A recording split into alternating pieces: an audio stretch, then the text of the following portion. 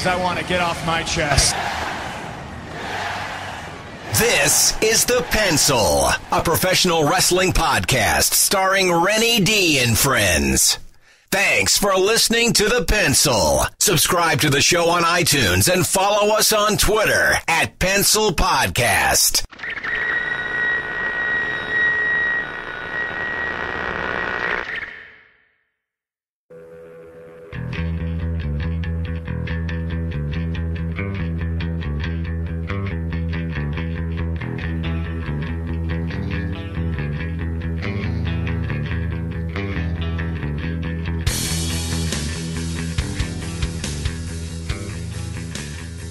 Hey, hey, and welcome to episode 18 of The Pencil, the re- professional wrestling podcast. I am Travis Mester, sitting here in live in Cottage Grove, Minnesota tonight with Renny D. How are you doing, Renny D? We're here to talk I'm fantastic. And that was well, man. That was good. Your first time introducing the show. Normally it's me from a distance.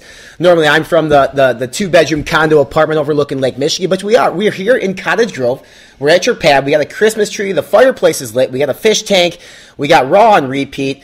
We got Dirt. We got Queen live in studio. Uh, it's just fantastic um, you know, to be here in person with you, my friend. And, and we have a lot to talk about given what we saw last night, not only on Monday Night Raw, but the Vince McMahon podcast, but what everybody is talking about seems like it's CM Punk. So we have a list of things that we want to cover in a short amount of time. It really is up to you, man. Where do you want to start tonight? Should we start in chrono- chronological order, and should we start with the Punk podcast and then go from there, or how would you want to do this, I, man? th- I think we go with the Punk podcast first and then go forward because I think each of us have done a good job and we've done it on purpose. We've talked about professional wrestling on this podcast. We've talked about WWE. We've talked about what's going on currently. We have not brought up CM Punk very much at all. and there's a reason for that. That's not that's we we didn't sit down and make a design to not do it on purpose. But if he's not on TV and he's not in the storylines and he's not around, he's not part of this show. There's no reason to talk about somebody who's not contributing to the product today because we want to tell you about the product today and what's going on in the world of wrestling. Obviously, I've voiced my opinion about how I feel about the fans chanting CM Punk during matches on the card. You listened to the podcast. It was about a two hour podcast on Colt Cabana's Art of Wrestling, which is a fantastic podcast. If you haven't listened to it, you're crazy, first off. Uh, if you're a wrestling fan, obviously you want to hear what Punk has to say, but I want I want I want to do this first on the Punk podcast. Let's do this. A couple sentences from you, Renny D. When you listened to it, it was an hour and fifty minutes on the Art of Pro Wrestling, Colt Cabana's, Colt Cabana's podcast. Was fantastic. Couple sentences. What did you take from it? Is there anything that stuck out? Is there anything that you thought you didn't realize? You didn't think this happened? Yada yada yada. What what, what was your takeaway? I would say three things I'm going to take away. I'll try to keep it to three. One is how Punk initially said it wasn't about the money, but the money became a theme. It really seemed like, given his payoff on some things. Uh, two, the fact that he said this wasn't a shoot on WWE, and he has no, you know, it's not anti WWE, but it really came off as anti WWE to me. Uh, and three, if it's true, because this is only one side of the story, the I guess mistreatment of the WWE doctors towards his injuries is shocking to me in a professional organization. Those are my my big three takeaways from the podcast, uh, you know, on Colt Cabana, I guess, and that's from a, a wrestler's perspective. Um, being involved in the business of wrestling, I have a lot of thoughts on the Punk podcast, which we're going to get into. But what were your main takeaways, you know, from the podcast too, from just a casual fan perspective? And obviously, you've you've been watching since Punk's been hot in WWE, and you've been around. I mean, we were going to WrestleMania, My- man. We wanted to see Punk, and he walked out in January. My my takeaway was onefold, and it was this guy head, headlining WrestleMania, and if he was the top paid guy in the company, isn't going to change anything with this guy. I don't think. I, I don't think he likes professional wrestling. I don't think he likes sports entertainment. He he did at one point the CM Punk of 2014 that we listened to on Tuesday. It doesn't matter what you give him, and if he was the main event of WrestleMania in 2012, 2013, and this past year when we were there at WrestleMania 30, it wouldn't matter. He's coming up with a reason that he's telling Colt Cabana now on his podcast, and I don't think the reason is legit. I think that's the easiest reason for him to use right now. I don't think he likes it, and he doesn't need to have one. I don't care why he's gone, but I feel like the reasons that he gave, if all those were corrected, I still think he's the same guy. And I think The Rock in a promo before Royal Rumble 2013, I believe. 2000, yeah, I think that's yeah, because he worked the Rock when he worked Rumble, the right. Rock, if, if you remember the Rock's promo before Royal Rumble, I think it was probably like the second week in January of 2013. He looked Punk in the ring. He looked him in the face and said, "You're one of the brightest minds in the history of this business, and you're one of the greatest in the ring that anybody's ever seen." But as soon as you got that, and he pointed at the WWE Championship, you became the biggest jackass in the industry. And that's who I heard on Tuesday night. it's just tough from my perspective. The end all be all goal for me was to make it to WWE. And obviously, I, I did my thing. I, I didn't get a job. And I can easily sit here and say, well, I can't believe he took his ball and went home. Like, there's a million of us guys out there that want that spotlight, that want that opportunity. And the WWE made him so much money. And, and he, he alluded to the fact that WD, WWE didn't make me, motherfucker. You know, like, I made myself. And, And, he, th- and, th- and this this is in no way anti-punk because uh, whenever I just brought up that Rock promo that he was the biggest jackass ever, I'm sitting here at a table in Cottage Grove, Minnesota, with two of the biggest jackasses I know. There's nothing wrong with being a jackass, but the way that he went about it could have done better. I don't think he cares if it was done better because he he he he he goes by the beat of his own drum, and that's to be respected. But that's also going to put him in a situation. We're going to wrap this into the Vince's podcast with Stone Cold after Raw. If you're looking at these, you listen to both these podcasts. Now, obviously, Punk's main thing in his podcast was to talk about the WWE. Vince, his main thing wasn't to talk about Punk, but Vince looked better, I thought, than Punk walking away from the podcast. Punk looked like a bitter man who didn't get what he wanted, made a lot of money, who still wanted more money. Who is holding on to the fact that well, it was his idea and Triple H got to do it, and then it was his idea and Brock Lesnar got to do it, and then Punk didn't. Get, I mean, everyone in the that's listening to this has a job. There's people in the job that get things that you don't. And Punk happened to draw the short straw. He obviously is not okay with it, and he's not going to stand for it.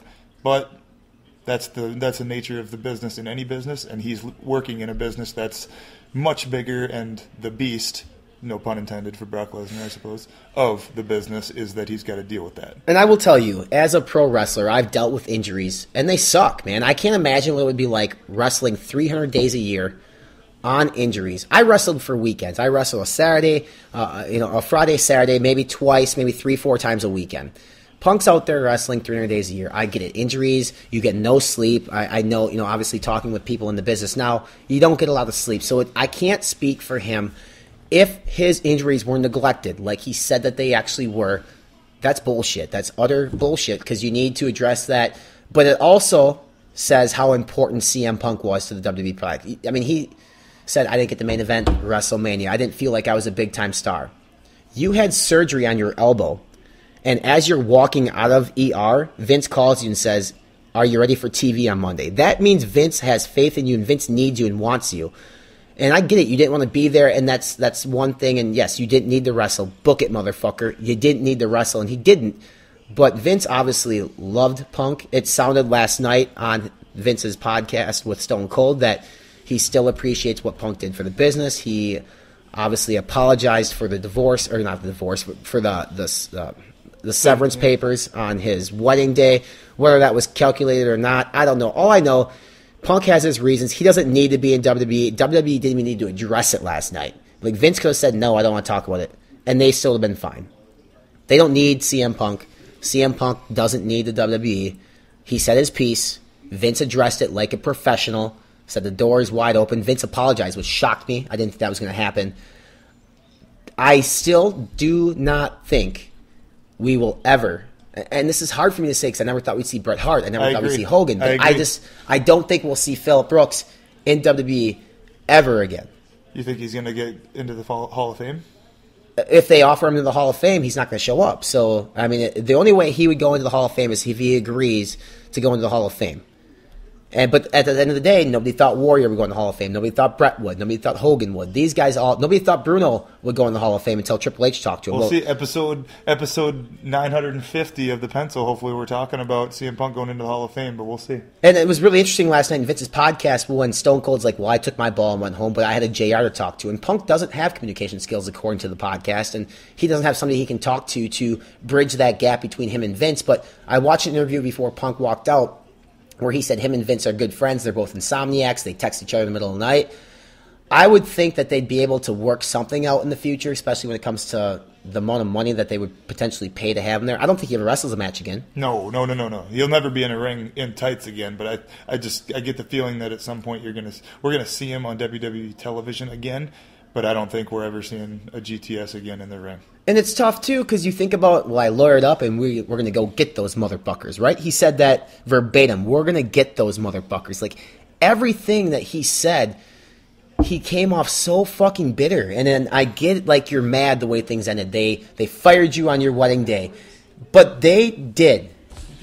At the end of the day, dirt, they made him a ton of fucking money. Devil's advocate, he made him a bunch of money. Yeah, he's a workhorse. Okay, that I mean that's not being a devil's advocate. That's true. He worked his ass off, and he was mad about turning heel because you sell less merchandise. He was outselling John Cena. How many times did I have to hear that on the on the Colt Cabana podcast? But here, yeah, you, here's the thing too. You take you take CM Punk's best six months of merchandise sales, his best when he was outselling John Cena. Then you take John Cena's best six months.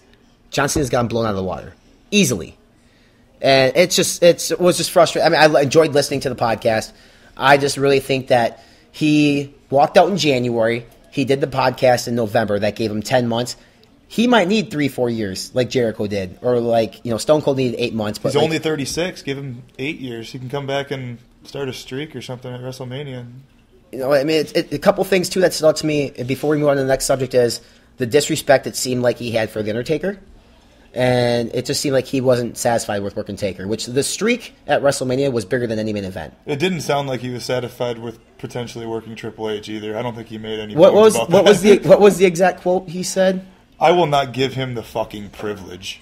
The privilege wrestling- to wrestling him. Triple H has drawn more money, man, than you have ever drawn, Phil. Like it's just it. I get it. It's a part-time status. You work the Rock. You said, okay, I'm glad I'll work the Rock, but then you won't work Triple H at WrestleMania because it's not the main event. That would have been a great match. I don't know. Like I'm torn. I don't, I can't speak for him. Like I'm upset by some of the things he said, but I also sympathize with him for some of the things that he I'm said. talking. As well. I think anybody that talks about that or anybody that listened to it at some point in their description of it is going to be talking out of both sides of their mouth, and I don't think that's necessarily a bad thing. It makes you open-minded. It means you understand both both sides, but there's strong opinions on both sides. There's no doubt. But enough about Punk. Enough about Vince. Love the podcast. Love both of them. Stone Cold did a fantastic job of interviewing. But what's happening in the in the real deal WWE today? Raw this past week. And here, here we're think? gonna we're gonna blow your mind, people, because I cannot believe the social media presence on Twitter. Because I do follow it pretty religiously on our, our Pencil Podcast account. People, dirt, were so upset with Raw. They said it was one of the most boring Raws in the history of Raw, and how garbage it was. You you have heard me on this podcast for the past month talk about the garbage raws. Two of the last three weeks I thought were two of the worst raws of the year. And of anybody that's going to throw it under the bus, I mean, I'm I needed to be convinced. I I needed to be talked into loving this episode. And I, I read on the internet today. I saw a lot of people talking that people didn't like it. I thought. It What was- did you guys like? I thought What was, the I fuck didn't was- you like? I thought it was a great episode of Raw. It was compelling for two and a half of the three hours, and I've got the segment sitting in front of me, and I don't know what, what I don't know what segment didn't further some some angle. So Here, I here's what we. For those of you listening, Travis and I watched the show together last night. And uh, today I sat down, I wrote down segments 1 through whatever it was, 1 through 12. 12 different segments, which include matches. Every segment, I believe, for the most part, sold something for the future, whether it be a match at TLC, whether it be a, uh, I guess, an angle with a certain character. I mean, we don't. There's not necessarily not every match or every segment sold a match for TLC because not all the matches are settled yet. But I mean, we literally can go through it. The opening segment was 22 minutes long, right? 22 minutes long, and we had four things that came out of that. Johnson and Seth Rollins at TLC with the stipulation. That's two things right there. We had two matches for the night. The main event, Erick Rowan Big Show. In 22 minutes, generally I'm going to complain about 22 minutes of talk and no wrestling. There's been three hours of Raw in the past month. There's been episodes of Raw where I've complained that there haven't been three or four segments that have even kept me interested. The first 22 minutes, I will admit, the openings of Raw have gotten annoying with how long they are and it's all talking mostly. But they furthered three feuds, three storylines in 22 minutes. And I was sitting there thinking, this is already better than most. And then they bring out the tag team turmoil match, and you and I have been asking for this kind of stuff for weeks about the U.S. title, about the Intercontinental title, about the tag team. Shout out to Lee Stork for the drinks. Appreciate Shout out, to, that. shout out to Hey, Lee, Lee, Lee Stork bringing us over drinks. We got our own personal that. bartender tonight. It's Live, fantastic. live in Cottage Grove, Minnesota. I'm not going to give you my address, but if anybody needs to find Please me, at you. Travis Mester on Twitter. But I digress. Tag team championship turmoil match. What did you think of that? It was fantastic. It was fantastic. They, do- they when was the last time they done a match like that? The last thing I can remember is whenever they did the beat the clock uh, to see who was going to be the number one contender. Right, like a gimmick match, which is Yep. different. It's not your typical no disqualification, false count or bullshit. Like That's there all was they need to do. That's all they need to do to make 30, 40 more minutes of Raw interesting instead of having, oh God, backstage stuff on this or backstage or stuff guest on that host or, or, guest whatever it is. But yeah. here, the thing in this match too, what they did is they they were able to work with two separate angles: the New Day and the Dust Brothers, not for the titles, the Usos and Miz and Mizdow, which also coupled into the Naomi segment backstage. As much as you hate the Bunny and Adam Rose, they also got a little bit of play. And you didn't have to see them in a two on two match or a one on one match for seven minutes in the nine o'clock hour. You got to get it out of the way in a match that actually had other things going on. I thought that was the best tag team stuff that we've seen, and I've been well documented with how much I do not enjoy the tag team most of the time. The tag team.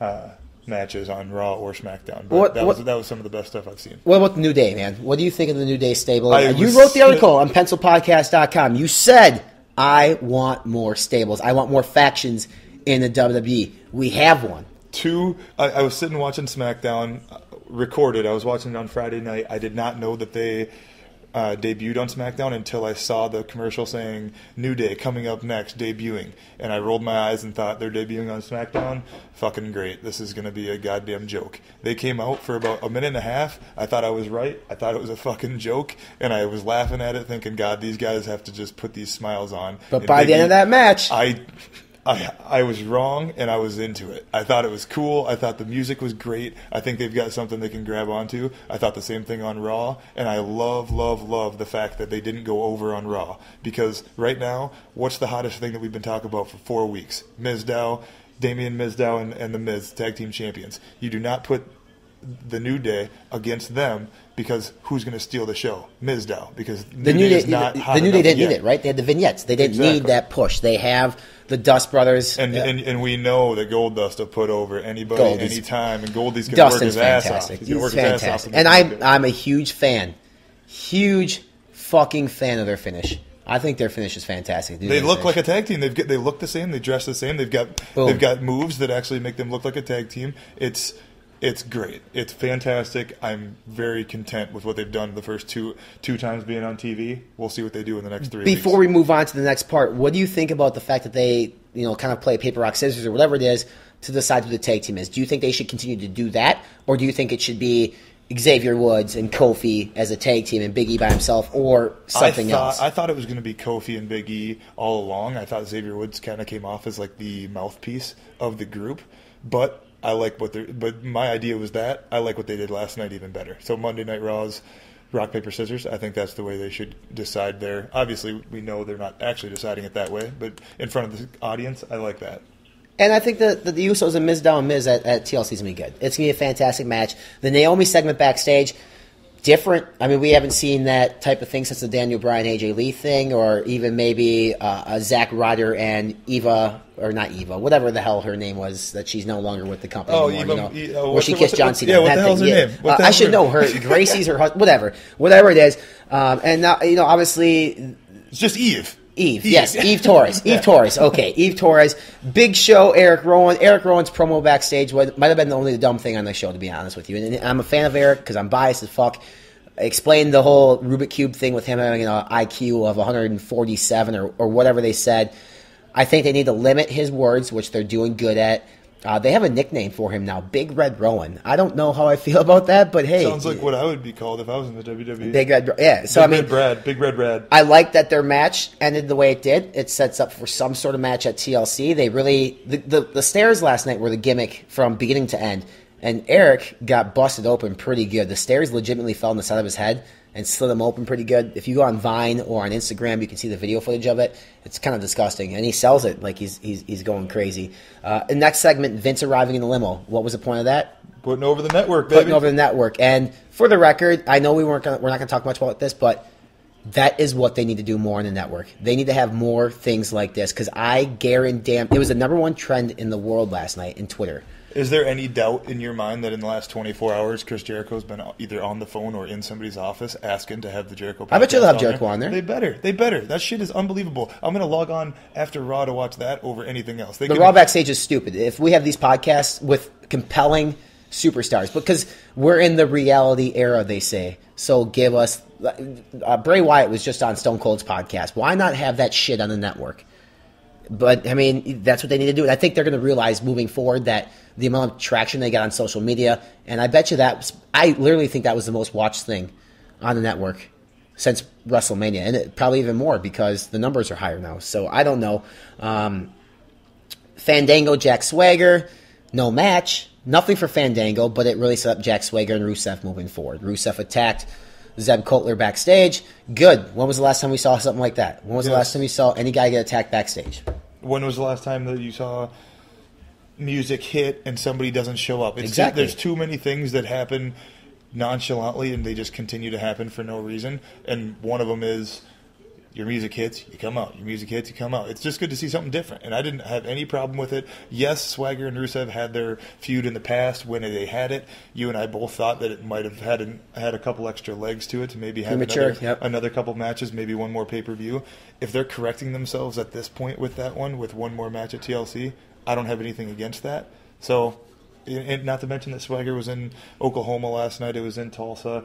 So we're looking at the, the college that he wrestled for and was an All American. Well, they're in they're in his college campus tonight for SmackDown. Yes. So, So, tonight is going to so tonight's tapings for Friday's SmackDown, no no doubt, are going to be pushed with that that in mind. I would have a se- feeling because last night was Tulsa, Oklahoma. Tonight they'll be in Norman, right? Right, and I think I want to go back to something that you mentioned real quick earlier. How I can't believe the New Day debuted on fucking SmackDown. You know, like it's SmackDown, right? But SmackDown moves to Thursdays in, in three weeks or four weeks or whatever it is. I think they need to start developing it as a show.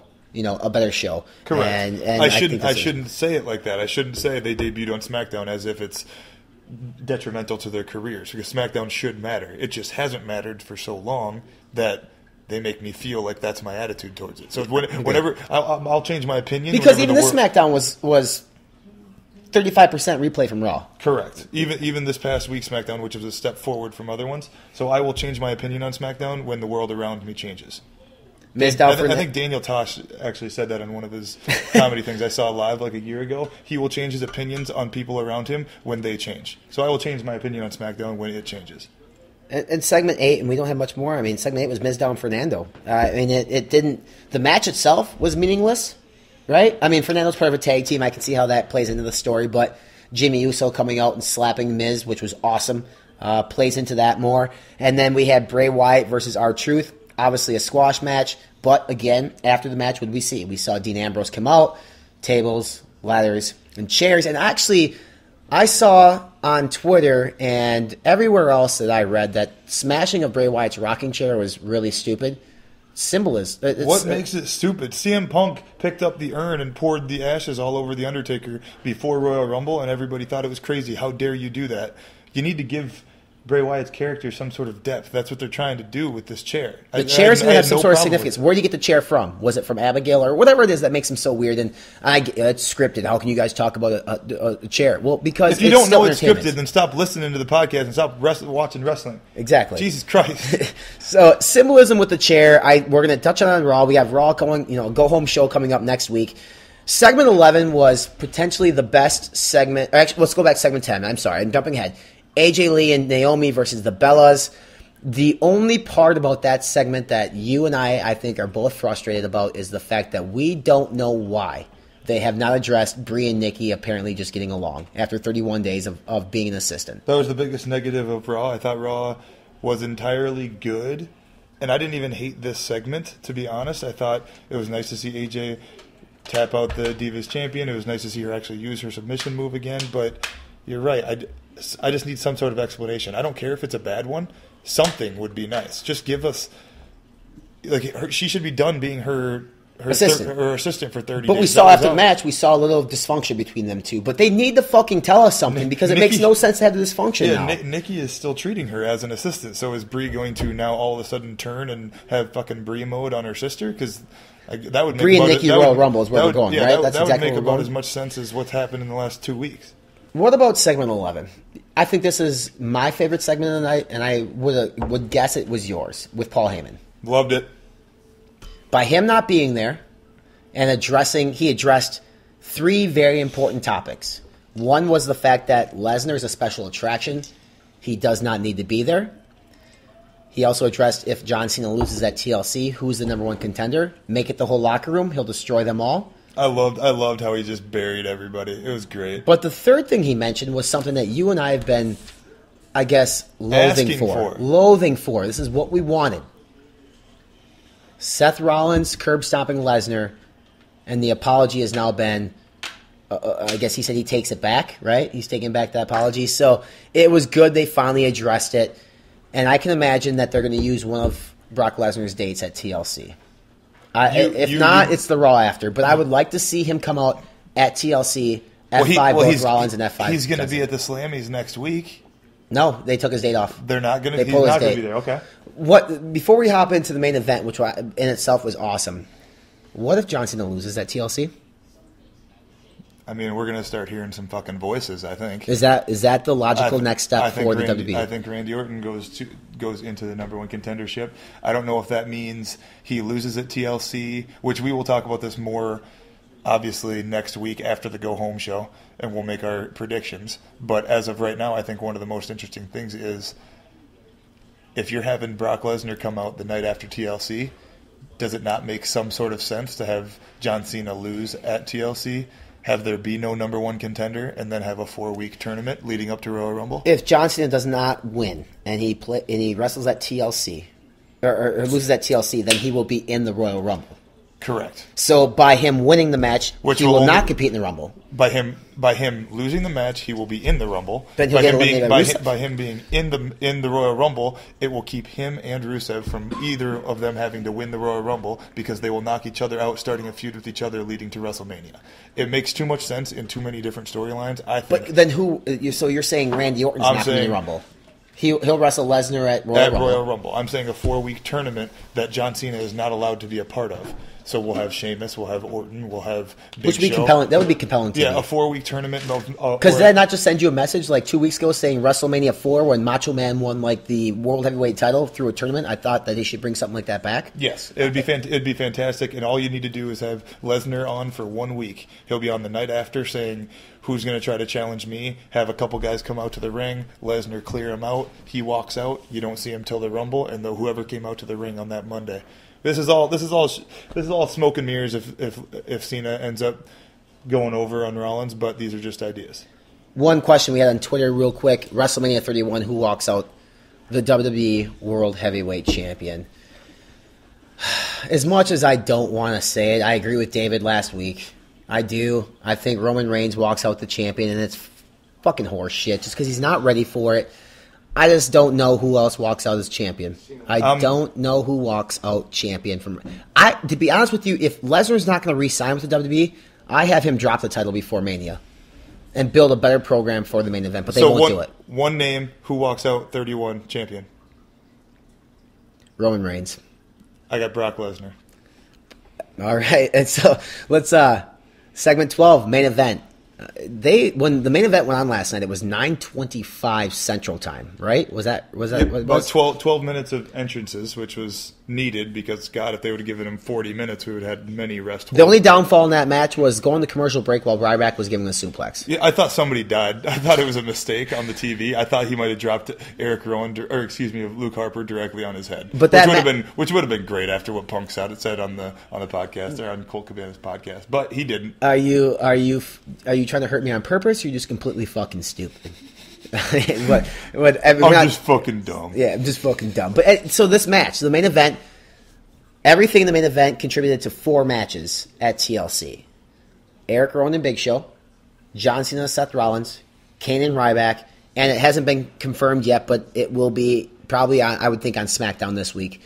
Dolph Ziggler and uh, what the fuck? Brody, Brody Harper. Luke Harper, yes, and probably a ladder match for the Intercontinental title. Correct. And and what do people complain about on the internet? What do people complain about watching wrestling whenever they have Hell in a Cell, when they have TLC, when they have Extreme Rules, that they don't have enough matches following the the structure of that pay per view.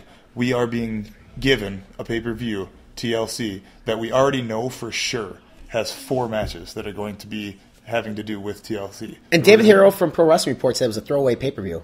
I'm more interested I'm in this pay per view right now than I was Survivor Series before that stipulation got added. Correct, correct. And Survivor Series ended up very good because it had a good ending, and the ending saves it all. But which, I mean, you tell me, is it more more more exciting with these four matches plus a tag team championship match? So we've got five matches right now, I believe, that are on the card, and a Divas match. So we've got six already. They did a better job building this pay per view in three hours than they did in five weeks. For the Oh, last one. absolutely. I mean, Survivor Series obviously was built for the main event, main event only. People complain there's not enough wrestling on TV. Seven of the 12 segments last night were wrestling. And if we want to get time wise, a lot of it was obviously wrestling. Some of the, besides the opening segment, every other segment was pretty, pretty light. So, I mean, it's going to be cool. We got, we got SmackDown on Friday. We got the go home show on Monday. We got Renny versus Dirty Picks again, which, Jesus fucking Christ. I mean, I need to get one more right because I can't, I mean, I can afford it. I just don't want to buy you another bottle of brandy. I don't want to fucking do it. Not one bit. I'll, I could put a bender on if I have to. Bender. By the way, every, everybody in, in Minneapolis, St. Paul, plan on seeing the pencil at the December 22nd Monday Night Raw uh, uh, taping here in Minneapolis. I'm going to plan on being in the area, going with Dirt, going with some of our friends.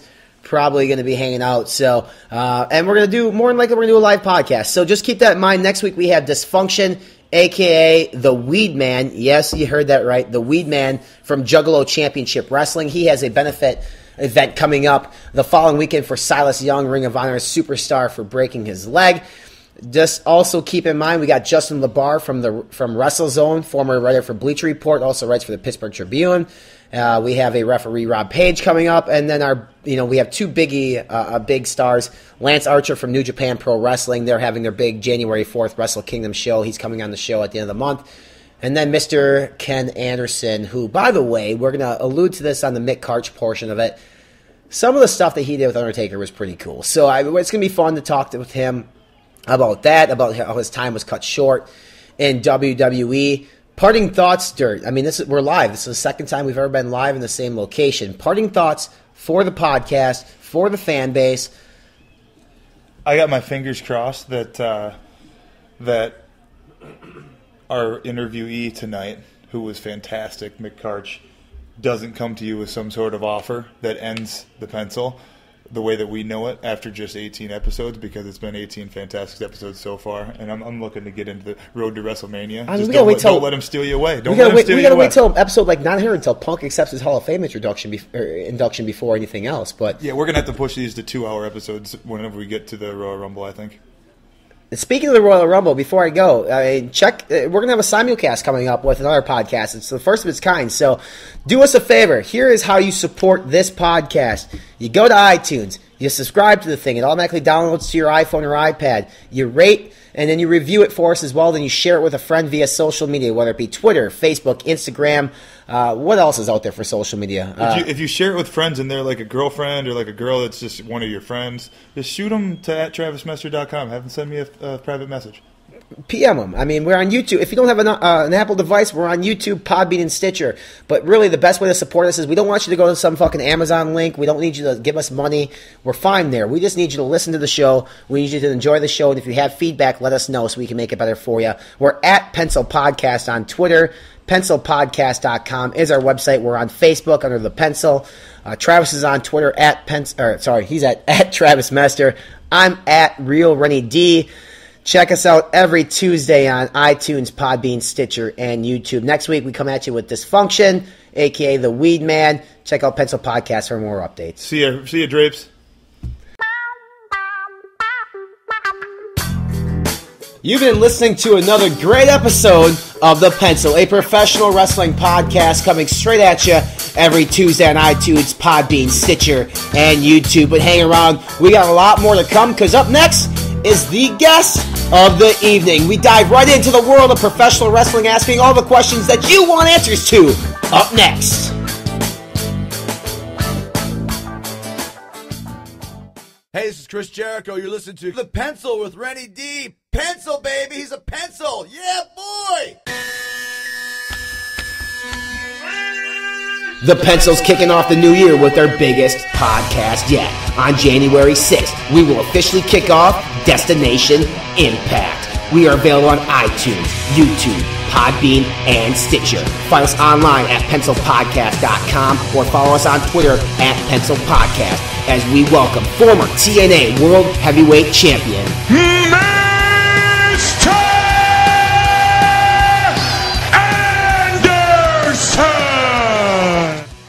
Ladies and gentlemen, one of the great matches on the card in Eau Claire, Wisconsin tonight. Pits Big Mitch Paradise, 275 pounds out of Paradise City, against a man who has absolutely taken off in the world of professional wrestling. Goes back a long, long time, ladies and gentlemen. Where, where is the man? He's not. Oh, you you haven't lost a beat, have you, pal? In the oh. last ten years, Mr. Anderson, Ken Anderson. Sight for sore eyes. Mick Karch, you know what? We go back a long way. We do, we do. And uh, you know, you were kind of one of my biggest supporters, one of my biggest fans. You know, you know how I know this? How do you know that? Because you, this man right here, is one giant asshole.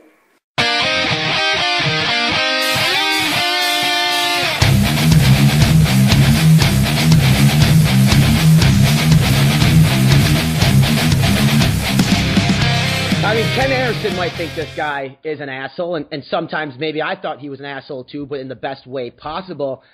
I'm just totally kidding. We got the voice of AWA on the line with us right now, Mick Karch. How's it going, my friend? It's been a while since we've talked. It has been a while, and you know it's interesting. You know the, the voice of the AWA. What's what's really funny about that, Ryan, is that I was uh, doing TV for Verne for all of about four months, and you know so eh, but but so many people say, oh yeah, you were the voice of the AWA, but in you know in reality it was just kind of a blip on the radar as far as the announcing is concerned. But uh, you know, hey, I'll take it. Anything looks good on the resume, and uh, we're good to go. Well, at least the voice of Minnesota professional wrestling. I mean, you've you've come to be known as that across the state, especially with some of the young guys like myself and some of the guys who've been here forever. But let's start. Let's uh, and I know you've been on many podcasts before, some with Wade Keller, some with other other friends and, and whatnot in the business. How did you get involved in pro wrestling? I've read some stories online, but I want to hear it from the lion's mouth. How did you get involved in the greatest sport that was ever created? Well, I mean, first of all, obviously as a fan, you know, when I when I uh, was nine years old, I got hooked on pro wrestling, and probably from the time I was a teenager, I just wanted to get involved in the announcing aspect of it, and it, it got to be further and further away as time went on instead of closer. I did a lot of publicity, print, print media stuff, uh, a lot of magazine writing, wrestling photography, that kind of thing, and I was a publicity writer for the Minneapolis Wrestling Club, the AWA, and specifically Wally Karbo. I had no contact with Verne or Greg at that point. But as far as the broadcasting thing, part of it is concerned, um, always wanted to do it in my own hometown. I wanted to have a TV show, a wrestling show, and figured it was always going to be a pipe dream. But I actually got started doing broadcasting uh, kind of a roundabout way. Uh, a good friend of mine who is no longer with us, Ray Webby, uh, was kind of a, uh, a man about town in the Twin Cities, heavily involved in pro wrestling and boxing. And he introduced me to Eddie Sharkey. And then in about 1985, Eddie was doing some local shows in the Twin Cities area at local gymnasiums and armories and that kind of thing, kind of like he is today, you know, 30 years down the road. Mm-hmm. And uh, they were doing some TV. They were taping, I believe, for you know probably cable in its infancy back then, local cable. And Ray introduced me to Eddie, and Eddie said, "You want to come down and do some announcing for us?" And I did, and that was kind of the first foray into the actual uh, you know TV broadcasting part of it. But I mean, again, since I'm nine years old, all I wanted to do was get involved in pro wrestling from this aspect. I had about a 10 minute uh, longing to be a pro wrestler itself, put on about 60 pounds over a summer and was working out and everything else. And then it all turned to fat and I got old and I started doing broadcasting. So, uh, we're, we're a good, literally uh, 50 plus years as a fan and doing the broadcasting. This is actually my 30th year in the business. Did you ever actually have a wrestling match ever, Mick, or did you just stick to primarily broadcasting and shooting photos ringside? Well, you know, it, it's kind of funny. Um, we had a group in the Twin Cities that was kind of a precursor to the backyard wrestling of today. And this is going back, I mean, literally going back 40 plus years. And one of the guys that I actually had a match with, my first and actually only match in a wrestling ring was with Paul Perschmann, the late Playboy Buddy Rose. Uh, we had a group, and, and Paul was actually part of it. And uh, so I wrestled him, and I, I think it was in the dead of summer, and he was wearing a, a heavyweight ski mask. And we did it like right out in the in the middle of the street in Richfield, Minnesota. Dennis Bockwinkel, uh, who has since passed away, Nick's half brother, was Okay. working for the AWA at the time as a referee and kind of a ring guy, and he snuck us the, the AWA ring, the official ring, the legit AWA ring, and we got in there and, and wrestled. And I took one body slam, Ryan, and that was it. That was pretty much it. I just decided there was a much better bet to to do it from behind the microphone. Uh, although in later years there was actually another group of us that, uh, unbeknownst to the AWA wrestling office for a while, uh, or they would have absolutely shot me. Uh, we were doing, going around doing little uh, impromptu shows at, um, you know, school gymnasiums and, and warming houses at city parks and everything, wrestling on mats, not in a ring, but we were doing it pro style. And uh, I had about a uh, about a seven or eight year career under a mask, of course, uh, back in the day. So technically, did I wrestle a professional wrestling match? No. Uh, did I get in the ring or on the mats and dabble in it? Yes. What was the name? What was the masked man's name, Mick? You know, it, it, it's um, it's out there. It, it's out there. There's a rumor that I wrestled as the masked super slayer. There's a Oh. rumor. Okay. Now, now, now, it, it hasn't been confirmed yet, and uh, you know, I'm not going to confirm or deny it, but uh, you know, there is, there could be some truth to that, and uh, just a despicable heel, you know, real life kind of typecasting, a despicable heel, and uh, started a few mini riots at some of these city parks and infuriated the kids and uh, that, that were in attendance. Um, fun stuff. Uh, the AWA got wind of it. And believe it or not, you know, this is going back in the day of kayfabe. So when the AWA found out that I was doing Kayfabe. What, what, what's that, Mick? Can you explain that for us? What it's a kayfabe is cousin of nowadays? mine. It, it, it's a it's a cousin of mine. They, Uh, use that, they in- use that word online everywhere. I don't believe it exists anymore. Yeah, I don't think so. Yeah, um, but yeah, because I was doing publicity for the AWA at the time, and again, my contact was only with Wally. Uh, they got wind of the fact that I was doing this, and poor Nick Bockwinkel had to be the uh, the heavy the heavy-handed one who pulled me to the side after he had come back from Japan, pulled me aside at the St. Paul Civic Center, and read me the riot act uh, for doing this. Uh, you know, Nick was very protective of the business, and he was astonished that I would go out and do something like that. So, um, yeah, and different time, different place, and, and certainly things have changed. Well, let's let's rewind real quick here. I, I read something online. Now, I don't believe everything I read online, but I think this came directly from you.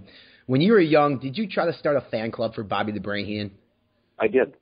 Um, yeah, I did. Uh, actually, I had uh, when I was a teenager, I had published some fan club bulletins and newsletters, and yeah, I mean that was really huge back in the day, Ryan. I mean, obviously today it's internet, everything is out there, but back in the day, you would get a mimeograph machine and you'd put out newsletters and so forth. And in 1971, I used to spend my Saturday afternoons. This is the kind of social life that I had. I spent my Saturday afternoons at the Dyckman Hotel in downtown Minneapolis which was the home of the AWA wrestling office. And I would sit in the lobby and wait for the boys to come in and, you know, get their autographs and everything else. Well, I had the uh, I had the bug. I wanted to start a fan club for a wrestler, and I had actually done one uh, back in the '60s for the late Crusher Lisowski. I put out a bulletin for Crusher, and you know had like virtually no contact with him ever. And then uh, seven years later, six years later, I decided I wanted to start one. Well, Bobby Heenan comes into the uh, Dyckman Hotel lobby, and he was on his way up to the wrestling office. And I was a big Bobby Heenan fan back in the day. And by God, I'm going to start a fan club for Bobby. So I, I walked up to him and I said, Mr. Heenan, you know, my name is Mick Karch. I'd like to start a, a wrestling fan club for you. And Bobby said, "Get the hell out of here." And that was pretty much it. That was that was the end of that. That's a good effort. A, a plus for effort, Mick. Hey, I tried. I really, really tried. And uh, from there, I went to Nick Bockwinkel in the summer of 1971 and started a club for Nick that ran for almost 20 years.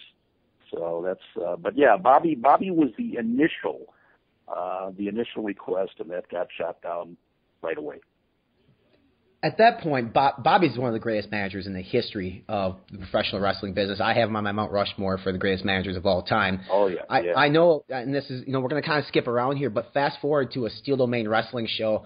I know you guys had Bobby there when I first broke into the business. So essentially, over the, your pro wrestling career, how close were you and Bobby Heenan uh, as you as you evolved in pro wrestling?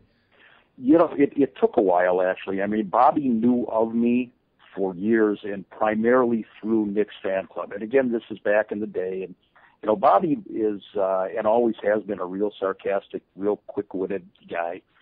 And we would have, um, we would have fan club conventions for Nick, uh, when I was running the Bockwinkel fan club back in the 70s. And, and Bobby would show up and he'd kind of make a guest appearance and make fun of us for having the fan club for Nick and all that nonsense.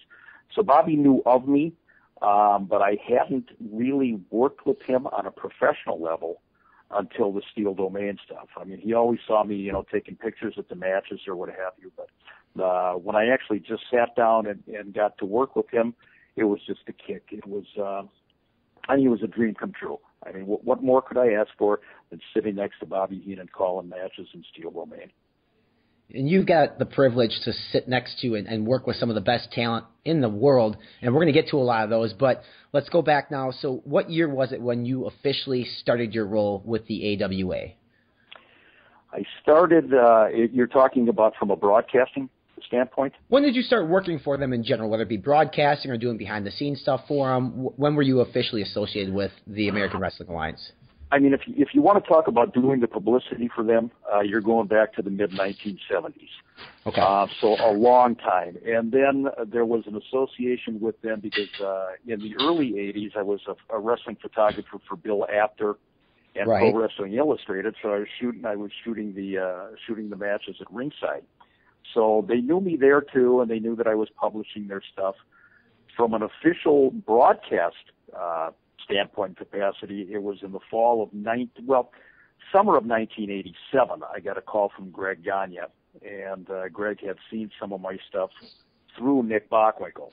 Um, Nick was trying to open up some doors for me. Greg had seen it, and he asked if I wanted to come down and audition for the for the ring announcer role with the AWA. And of course I did. And he said, "Would you like to come to Las Vegas once a month and, and do our do our ring announcing?" And uh, so officially, my debut as an AWA announcer was August 1st of 1987. Okay, perfect. So, and then you also worked with other organizations outside the AWA as well, correct? I did. Um, I I worked. I had a, a like one night stint, if you even want to talk about that, with uh, WCW. They were doing a double shot. I believe Rochester and then St. Paul. We were looking for a for a ring announcer. Uh, so God, I don't even remember the year that this was. So I ring announced for them. I also did uh, ring announcing for Bill Watts' old UWF organization. They ran one show in the Twin Cities back in 1986. They had been on the local market, local TV for about six months, and I mean their product was phenomenal. Right, Bill's and, a, yeah. a fantastic wrestling mind, obviously, as you know. Oh, genius! And I mean, and they loaded up this card right. I mean, they brought everybody in, and it was at the old Met Center in Bloomington. And you know, you're in a 15,000 seat building, and I think they drew about five, six hundred people. It, I mean, it was just a disaster. but I, I did some ring announcing for them, and then also um, the other, I guess, major organization, such as it was, I did something, a uh, couple of stints with the American Wrestling Federation, Warriors of Wrestling, which was based out of uh, Tampa, Florida, uh, back in the mid and then the late 90s. So, you know, that, and then of course, you know, kind of peripheral association with some of the TV shows that we carried on Saturday night at ringside, right. both WCW and, and uh, Global Wrestling Federation, World Class, that kind of thing. So, yeah, I've, I've, I've been around the block a couple of times, yeah. And we're going to get to your time with Verne Gagne and the AWA, but I was actually a little bit interested in the AWF.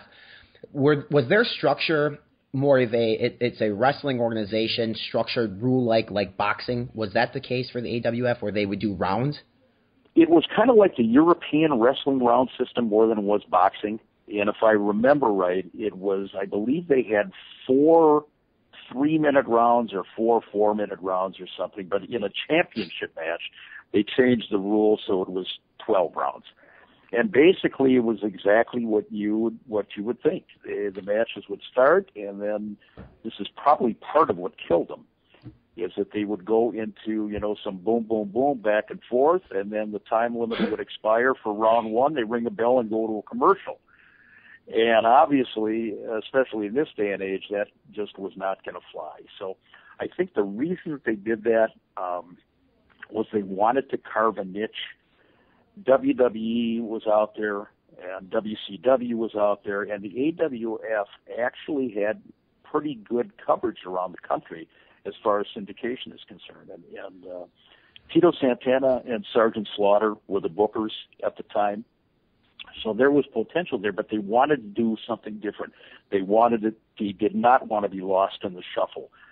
So I don't know. I believe it was Sarge who came up with the idea to do this, you know, twist on the European wrestling. And it just, you know, they had some talent, but the concept didn't work. And not only didn't the concept work, but also they had some absolutely atrocious syndication times around the country. And they tried it once and it flopped. They came back and did it again, and it, it just kind of got buried under again.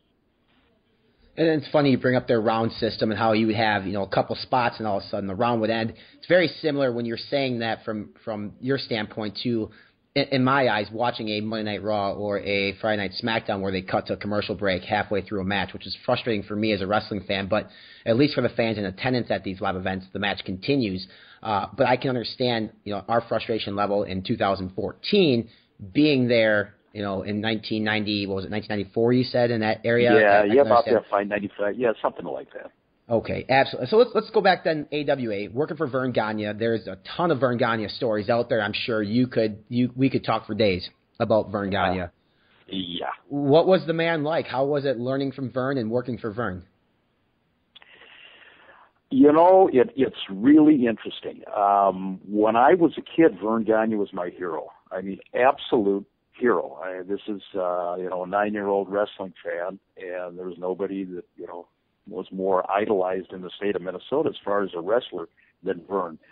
Over the years, um, you know, you start to hear the stories, and and kind of you know, and this is all hearsay. Where I I, I don't know for sure, but in 1973, 74, something like that, Verne had released a movie called The Wrestler. This was the original movie, The Wrestler, not the Mhm. you know not Not the later one. Not the Mickey Rourke. Yep, absolutely. Exactly. And I, I mean, campy to a fault.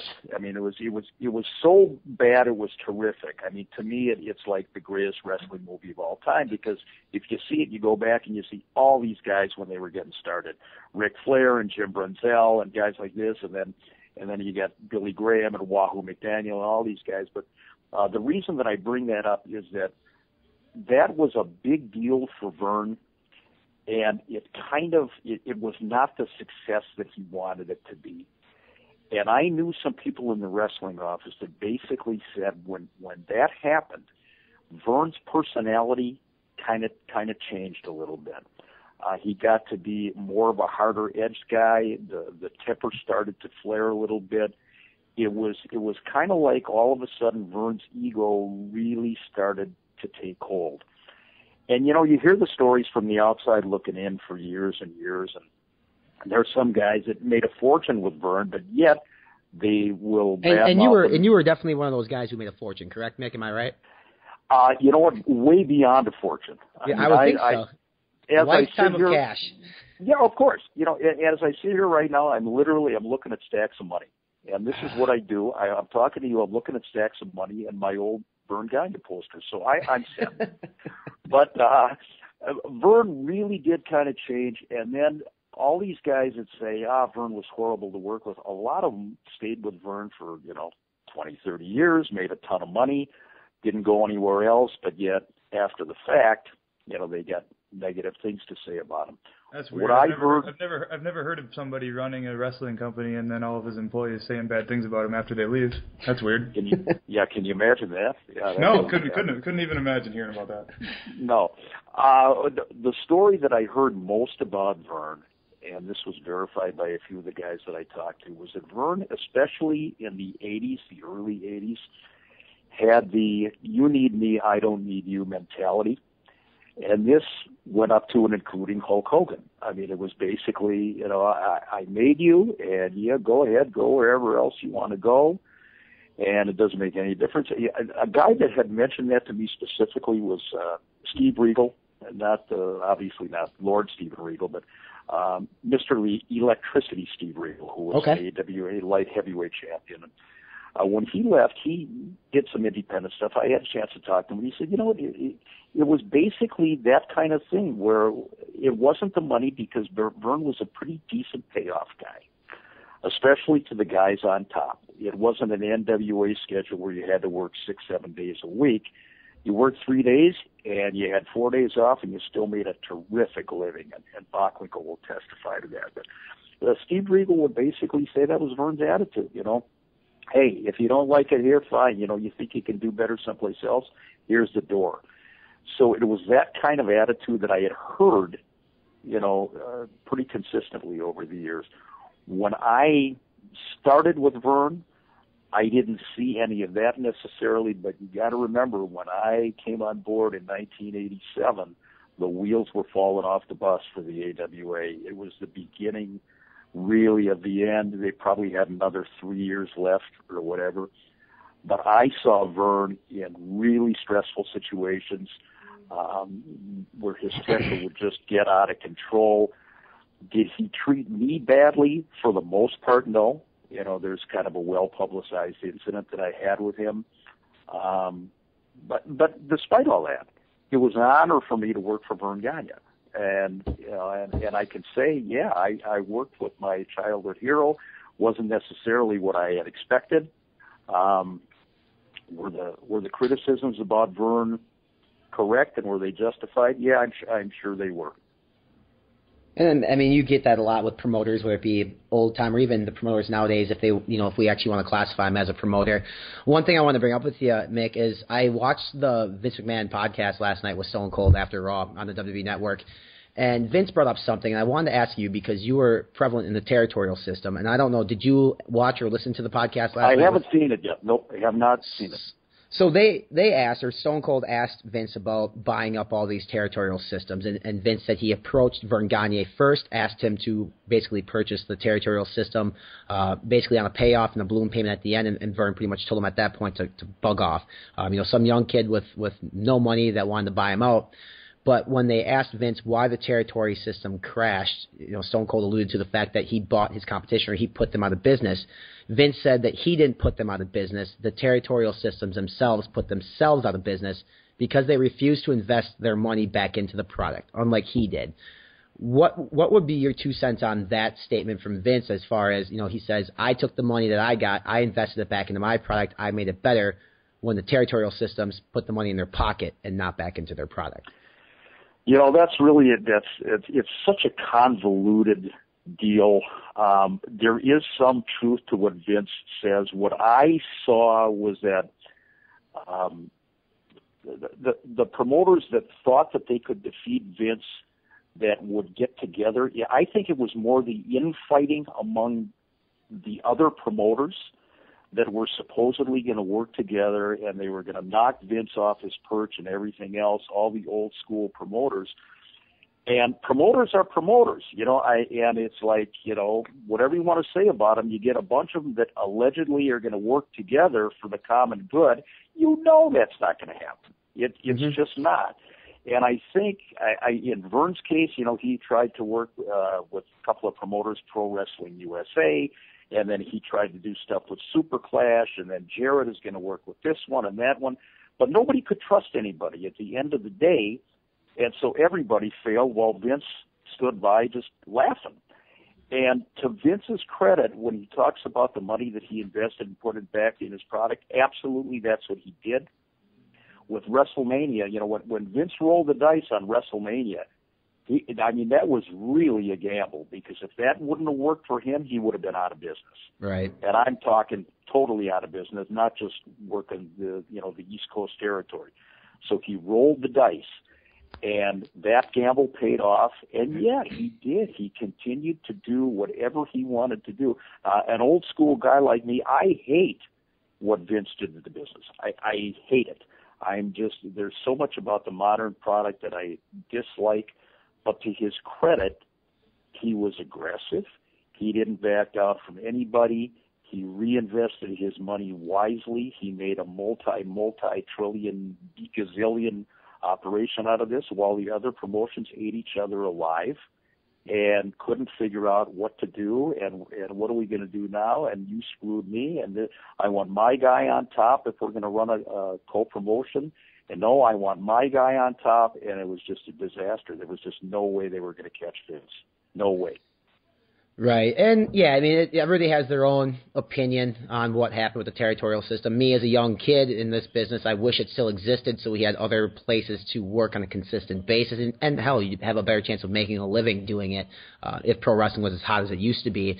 And obviously one thing from the territorial system that was really big, and we, we kind of talked about a little bit earlier, was kayfabe, and with things like podcasts and the dirt sheets. And yes, I you know I run a podcast, so I get it as well. But last night, Vince really opened the the door to certain decisions. Why did he job out Taker at WrestleMania? Are we going to see Sting, you know, at this year's WrestleMania and Macho Man? I mean, he gave away some things that you know back when you were involved in pro wrestling, you just didn't do that as an old school guy yourself, I, I would assume one thing when it comes to kayfabe. But what's your take on the world of kayfabe in professional wrestling, as as far as when you were in it to you know, to the basically non-existence now in 2014?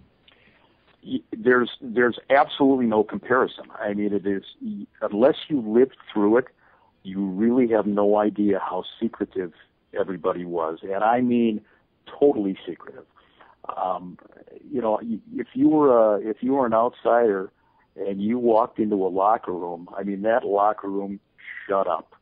Uh, if you were a reporter asking questions about pro wrestling, it was legit. If you were a wrestler who came on TV and you were, and I'm not talking about Dave Schultz slapping John Stossel. Right. I was actually about, uh, talk, bring about that up too, but I'm glad you actually mentioned it yeah, I you know, I mean, it, it's if you're an old school guy and they asked you, are these matches you know predetermined? It, absolutely not. I mean, there was no there was no secret that wasn't kept about the business.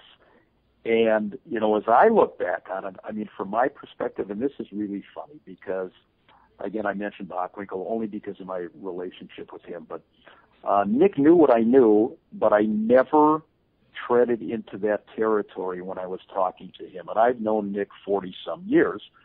If I would stand at, the Minneapolis Auditorium and watch a match with Bockwinkel, you know, in the, in the catacombs of the arena, he, he'd be watching the match and even though he knew what I knew, he would still like wince if a guy did this, or or he'd say, "Oh, that was a stupid move," or whatever. So Nick wasn't breaking kayfabe, and it drove drove me absolutely crazy.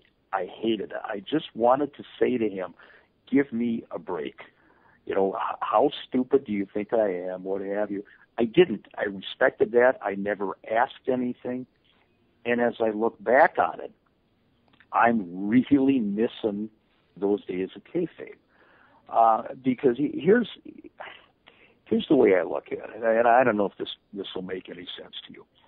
If a guy like Mick Foley says, you know, this is predetermined, and he'll write his his books, and I'm not, I'm not picking on Foley, but he's a perfect example, and he explains everything about the business and all the secrets are out there, and then he goes to the top of the cage and he falls through the cage onto the floor and he goes through a table and his, his tooth comes out of his nose. Why should I believe that that is real? If you've told me that everything you do is fake, why should I believe it? Why should I believe any injuries? Why should I believe when they say Daniel Bryan is out with a serious neck injury? Why should I not just assume that's a storyline? Because you have told me wrestling is predetermined You've told me these are storylines. You've told me that you're, you know, great athletes, but you know, you know how to fall and whatever it is. So in, in that sense, I just, it's really hard for me as an old school guy. And, and I, you know, I mean, I could go on and on about this. I mean, on the independent level, you know, I go into, into some buildings where guys are running the show and I'll see the guys and there's, there's 30, 40 people standing there people from the outside that haven't bought tickets yet, and they're they're rehearsing their match beforehand. Mm-hmm. It's like, what are you doing?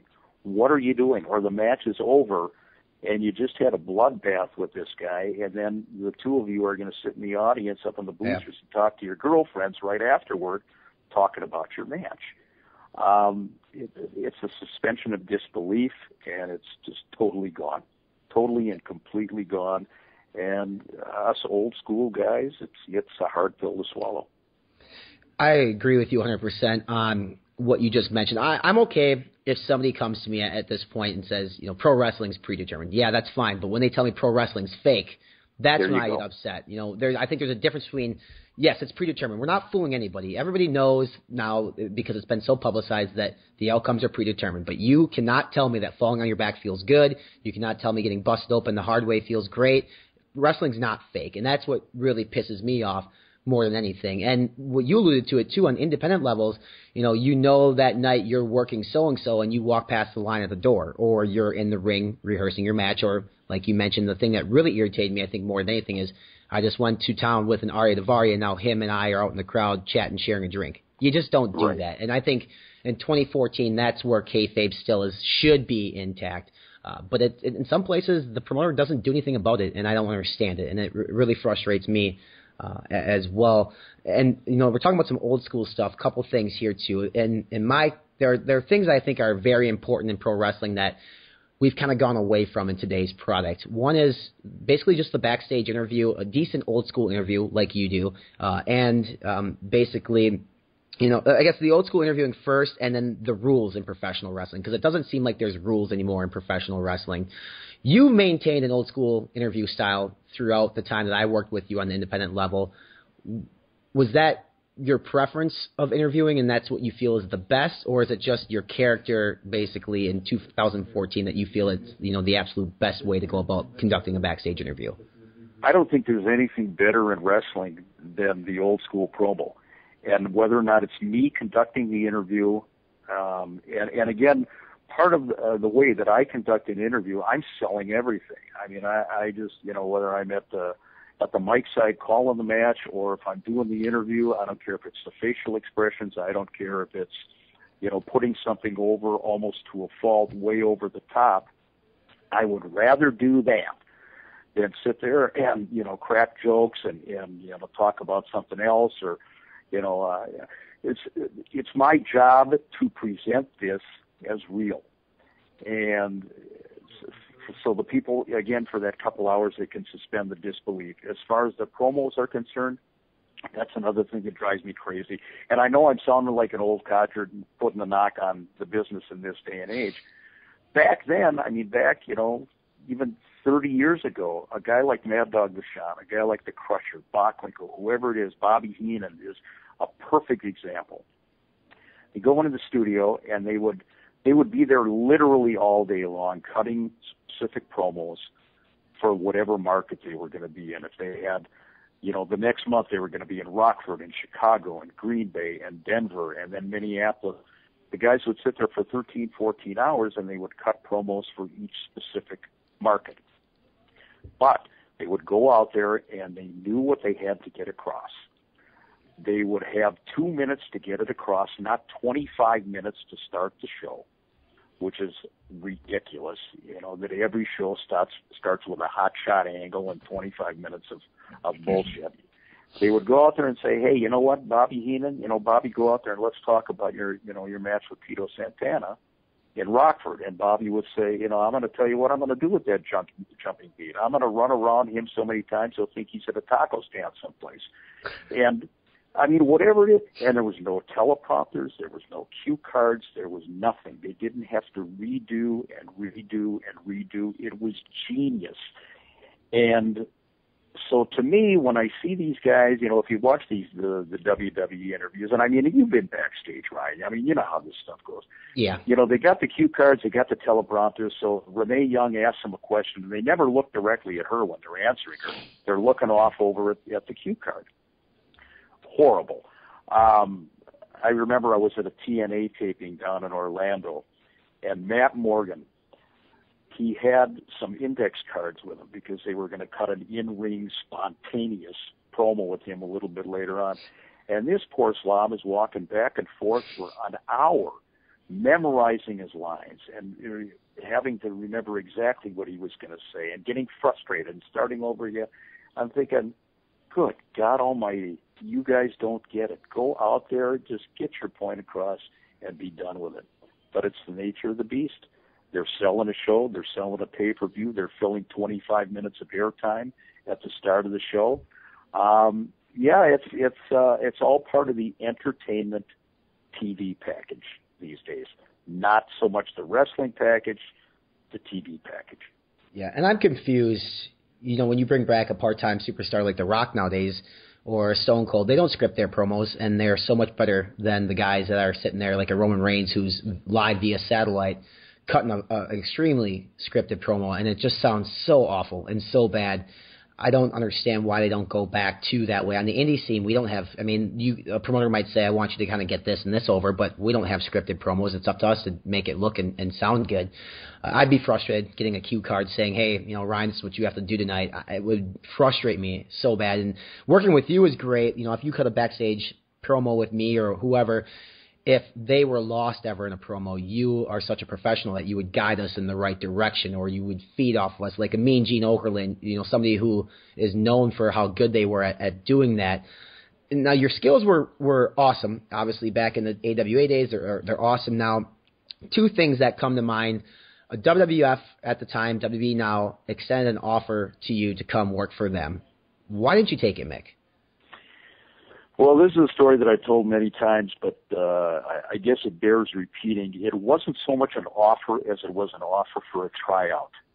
Okay. And uh, this is right between the AWA, right after I had left the AWA and started the Saturday Night at Ringside Wrestling block in Minneapolis.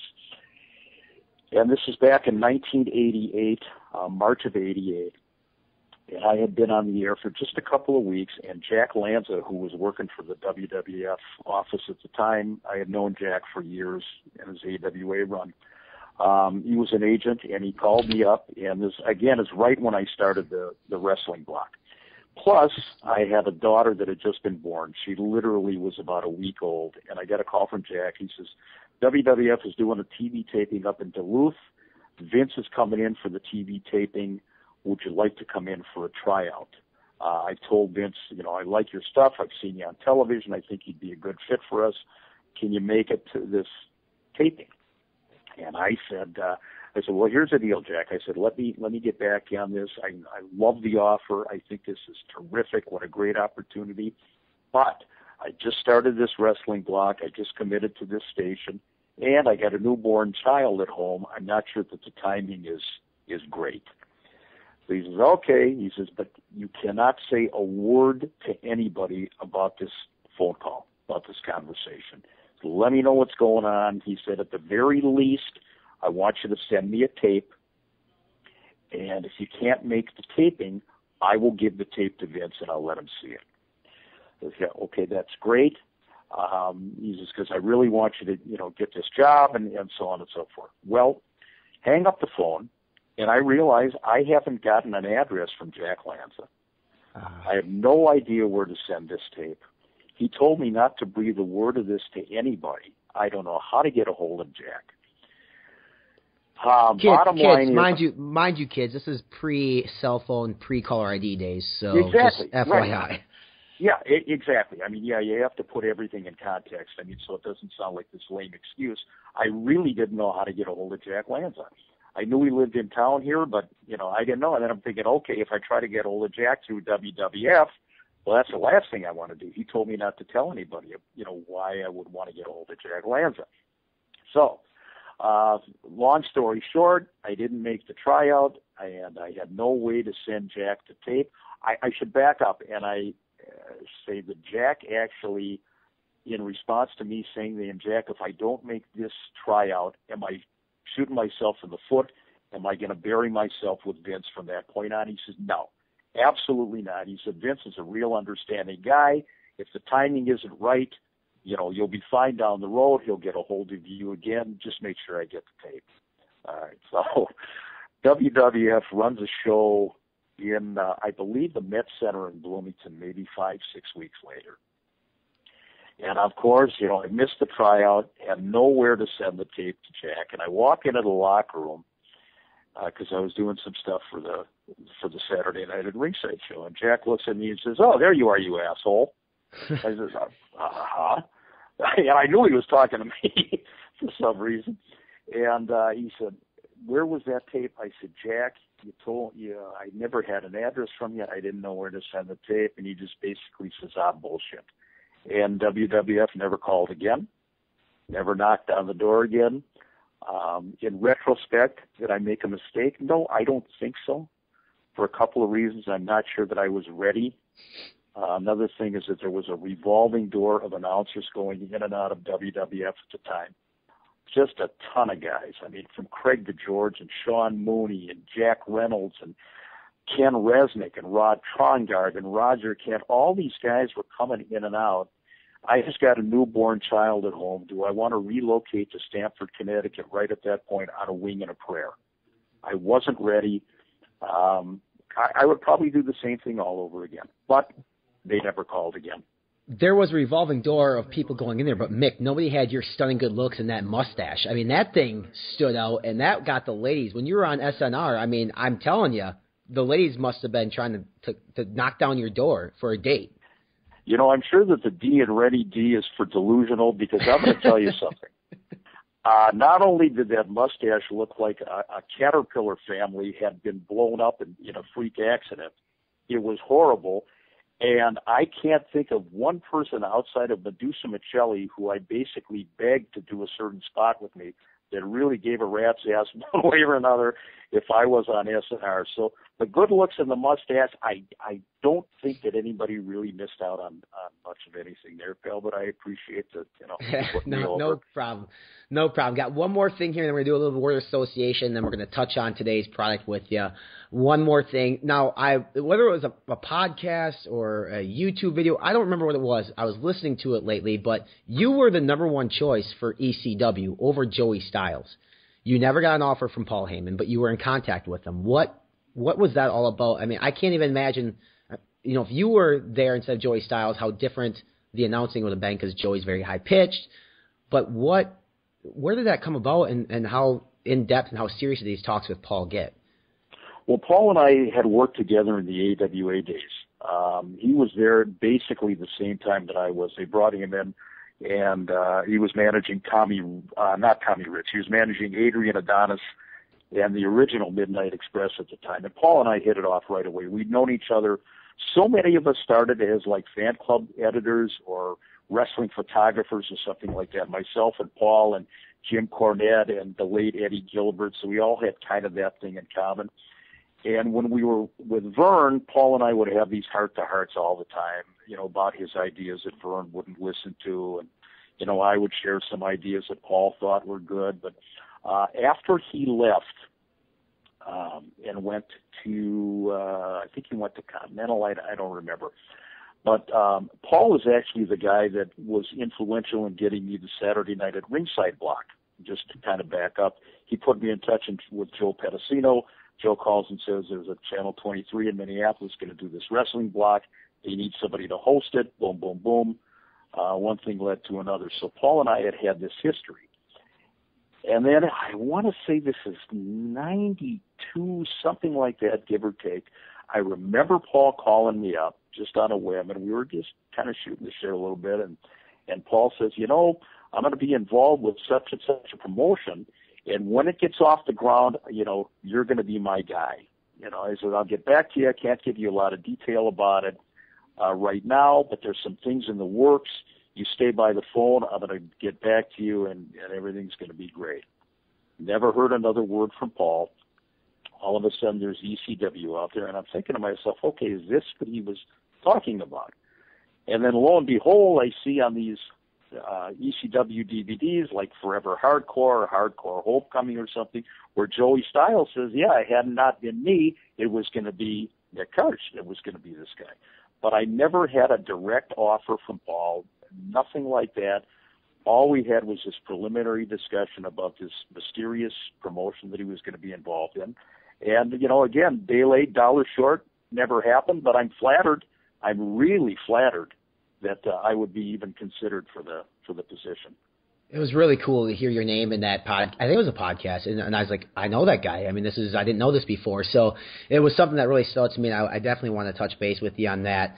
Um, I'm going to go ahead and name off a couple names here for you, Mick, and if you in a couple sentences, if you want to basically describe the individual, whether it be your friendship, their work rate, their talent, whatever it might be. Um, we're going to start with a, a guy that obviously you uh, are very close to in the business is Nick Bockwinkel. Uh, to me, when they talk about the greatest heavyweight champions of the modern era, and by modern era, I'm going back probably 45 years, I, it's Bockwinkel. Uh, you can talk about Ric Flair all you want. Uh, Ric Flair, a great flamboyant wrestler, but Flair had the same match over and over and over again for 30, 40 years. And this is not to take anything away, but from how colorful Flair was, and you know, I mean, Flair is Flair is Flair. But Nick could make a broomstick look good, and he held uh, the championship. Not only uh, not only did he wrestle the AWA territories, but back in the day, he would go down to Florida and wrestle NWA territory. He did the same thing in Texas, and then he'd go to Japan, or he'd go up to Toronto as the AWA champion. And he did it with class and dignity, and he sold his ass off for everybody. Uh, brilliant mind for the business. I think Nick is just in a class by himself. All right, Mick. Next on the list, Playboy Buddy Rose. Um, God. Uh, I met Buddy Rose. I met Paul Perschmann when he was a fan, just going to the TV matches in Minneapolis. He wanted to be a pro wrestler. That's all he wanted to do. He dropped out of high school uh, to start training to become a professional wrestler. When he got into the business, he got his ass handed to him a couple of times at training camp by uh, Larry Heiniemi, uh, Lars Anderson, and Billy Robinson. I mean, they beat the tar out of him. But he kept coming back. He came back for more, and he had perseverance.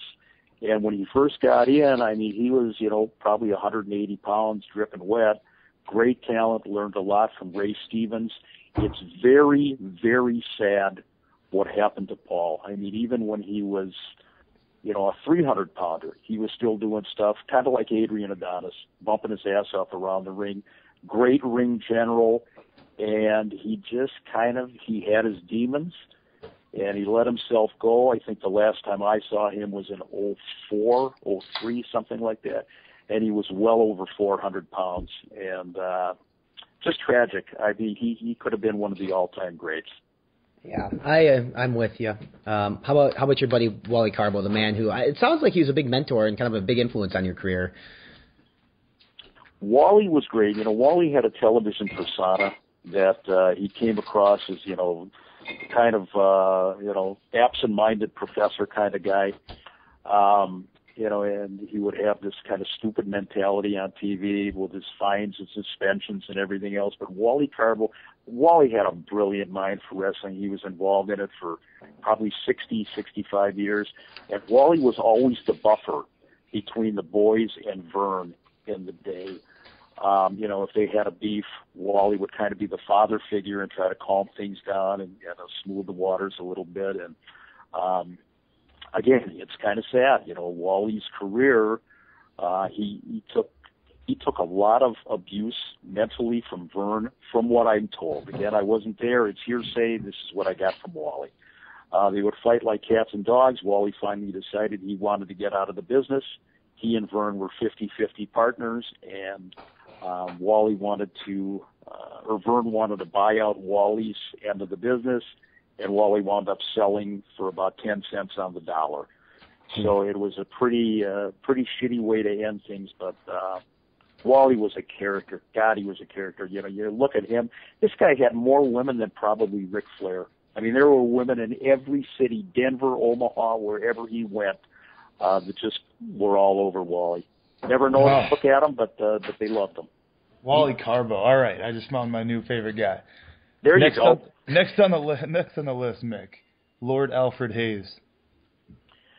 Um, probably one of the nicest guys that I ever had an opportunity to meet or work with in the business, and uh, you know, a lot of people, modern day wrestling fans, just remember Lord Alfred from his uh, his WWF days, where he was kind of a comic foil and doing the commercials and you know you know, you know brought to you by, you know, he'd go into a commercial or he'd have stuff poured over his head or something. He was a great, great wrestler in his day, and he was a legit tough guy over in England. Uh, I think he was a black belt.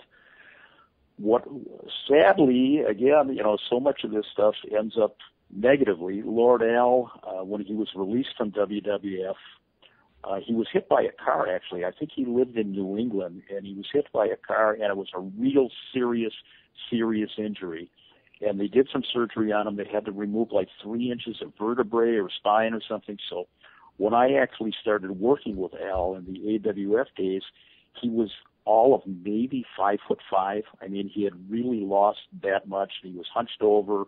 Uh, eventually wound up in a wheelchair and, and so on and so forth. But I'll tell you, as nice a guy, as much of a gentleman, and uh, a true professional when people say to me, "What's what's the highlights in your career?" I don't think there's anything greater than working alongside Lord Alfred Hayes. He treated me with respect, and uh, we got along great, and just a a sweetheart of a guy, and I miss him a lot. Um, that was a real loss when when he passed away. Yeah, anytime it seems like anytime you lose somebody in wrestling, uh, wrestling is a huge family. In the outside world, will never realize that unless you're part of it. And, and I think Jake the Snake really hit on the head with his Hall of Fame speech in the WWE this year. And if you haven't listened to it, I, I highly suggest anybody listening to this podcast to go to the network or YouTube or whatever you can to listen to it. It'll kind of give you a glimpse on what wrestling is to us inside the business, inside the industry. Yeah uh, we're we're very close and we're a different group of people. But when you lose somebody, it's like losing a brother or a sister, and it's it's very diff- difficult for you know obviously you working alongside with him, but it's even sad for somebody like me who you know watched some of his stuff and. Uh, it's just it's never fun. So um, and, and that'll you know I, I want to talk about another guy here. We're gonna have him on the show January sixth. Is he was known as Kamikaze Ken Anderson here in the Midwest before he went to WWE as Mr. Kennedy. You had an opportunity to work with him before he made it big, and you had an opportunity obviously to work with him recently. What, what's your thoughts on Ken? I think Ken is a great guy. Um, I, I always have fun working with him. I think he's very talented. Um, I think you know Ken's got a personality that kind of rubs some people the wrong way. You know, there's some documented you know, incidents with some of the wrestlers in WWF or WWE that he didn't get along with very well. Uh, he speaks his mind, and uh, but I, I just I love working with him. Um, very very funny guy, very witty guy, and uh, I'm surprised. I guess I'm surprised with the, the level of success that he's reached. I expect him to even get more success than he has and maybe that's because you know he was in TNA for a while, and we, know you know as much as they try, they flounder. Um, but I think Ken's days are still ahead of him, his best days, and uh, just just a fun fun guy to work with. Whenever I see him, it's like old home week. Uh, you know, we pick up right where we left off. You know, they turn the camera on to kind of promo, and uh, and we're there. We're right back there, and it was a pleasure to be there with him at the very beginning, and it's a pleasure to work with him now. It's funny. We Travis and I were actually watching some stuff on the network the other day, and the Brothers of Destruction DVD was something on there, so we clicked on it because we're both big fans of, of Taker and Kane, obviously. But they showcased a match with Ken uh, on there, and it was you know thinking that Ken and I met him you know backstage at an ACW show in Green Bay, Wisconsin. I work with him in Eau Claire for Heavy on Wrestling with, with you guys. That he got to work with one of the biggest names in the wrestling business of all time and I'm excited to ask him about that. It's going to be really cool to hear his, you know, his stories about working with some of these big guys. But I agree. I think that you know they obviously pushed him really early on in his WWE career, and unfortunately, whether it be backstage politics or whatever it was, it cut his his time there short. Uh, but he's making yeah. the best of TNA, and he he ended up being a TNA World Champion, which was fantastic. And and the biggest thing with Ken is that he's he's had some great wrestling days, but we know his probably the biggest day of his career is going to be here in about a month. He'll be on the pencil with us. I'm sure he's looking forward to it. oh my God, it doesn't get any better than that. I mean, I, I, and I'll tell him. I I will tell him firsthand from firsthand knowledge. Yeah, and absolutely. There. I still get. You know what? We're 40 minutes into this, and I still got butterflies talking. Cha- chapter one of Ken Anderson's book in 15 years is going to be about the pencil. I bet. well, oh, of course. Hell next yeah. on the next on the list for you, Mick, is Scrap Daddy Adam Pearce. Uh, um, there's another guy that I was fortunate enough, and I mean that. I mean, I'm not just saying that. I am really fortunate to say that when Adam first started getting a little notoriety in Steel Domain Wrestling, that I was there to call his initial matches. You know, with the long hair and the you know and the baby fat and everything else, and, and him and Ace Steel and and uh, of course Colt Cabana and the guys from back then, Danny Dominion and Adrian Lynch. Um, I think Adam Pearce is probably, and it's going to sound funny because this is a five-time NWA champion. I think he's still the most underrated guy in wrestling. Um, and how do you say that about an NWA champion? He, just is. I mean, the NWA has changed, so it obviously doesn't have the notoriety and the luster that it did in the Ric Flair days. But still, Adam Pearce, he's so good. He is so damn good in the ring. And you have to be to kind of transcend the two eras because he's an old school guy, he's an old school heel. He knows all about the psychology. It's not about high spots, boom, boom, boom, and flippy flop hurricanranas and everything else. He's got a methodical style. He plays the crowd. Uh, he's just really, really good. And he's an honest guy. He's a straight shooter. He's professional to a fault and uh, I can't say enough good things about him.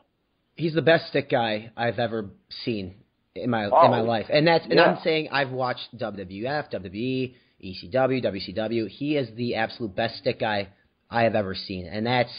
I, I've watched Ric Flair and I've watched some of these Stone Cold. I still think he's the best I've ever seen, and it's remarkable how good he is at getting over what he wants to get over. And I really think that's a big reason why WWE has been bringing him down to NXT, and now speculation that the next period of his career is going to be maybe being hired on full time as a trainer down at NXT, which would be absolutely awesome for those kids down in Orlando. If he was full time there and is able to help that system, that that would be so beneficial for those guys. And if that's where it's going in his in his life, more power to him. I'm not sure if that's gonna happen, but I really hope it does when he decides that his days in the ring, as far as competing on a regular basis, are over. It's gonna be it'd be so good for him. Um, well, here's here's what's great. Just one more comment about Adam. I mean, it's it's uh, to talk about his professionalism. Here you got a guy. I mean, we've run a couple of, of steel domain shows in the last couple of years where Adam has come in. He's worked Colt Cabana a couple of times. and he'll send these promos around the horn, you know, that he makes at home or whatever, and they're so damn good. And these aren't promos for a TV audience. Uh, these are promos for the specific market where he's going to be wrestling in front of maybe 500 people, maybe 700 people. And he's so good and he's so meticulous in what he says. And just like you said, he gets the point across. He knows exactly what to say. He draws you in with every single word that he says. And I, I just think it, it's just a shame as far as I'm concerned. I mean, like TNA when they had that, that ridiculous gut check thing.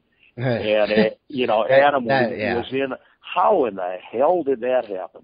I mean, if any guy could have possibly helped save TNA, I'm not saying he could have, but maybe uh, Adam Pearce was the guy, and I really think they missed the boat.